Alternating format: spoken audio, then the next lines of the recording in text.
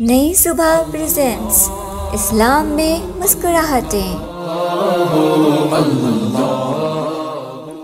हज़रत अब्दुल्लाह बिन अब्बास रज़ी अल्लाह तु बयान करते हैं कि मैंने एक मरतबा देखा कि आप सल्लल्लाहु अलैहि वसल्लम रुकन यमानी के पास बैठे हुए थे रसूल अक्रम सल्लल्लाहु अलैहि वसल्लम ने यकायक अपनी निगाह आसमान की तरफ़ उठाई और हंसने लगे। फिर इरशाद फरमाया, अल्लाह ताला यहूदियों पर लानत करे।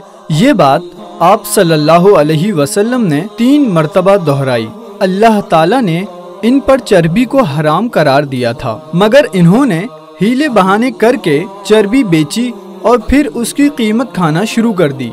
हालाँकि अल्लाह ताला जब किसी कौम पर किसी चीज़ का खाना हराम करता है तो उस पर उसकी कीमत भी हराम करार देता है। रसूल अकरम सल्लल्लाहु अलैहि वसल्लम को यहूदियों के इस हीले बहाने पर ताज्जुब हुआ और आप सल्लल्लाहु अलैहि वसल्लम को इस बात पर हँसी आ गई। रवाहू अबू दाऊद।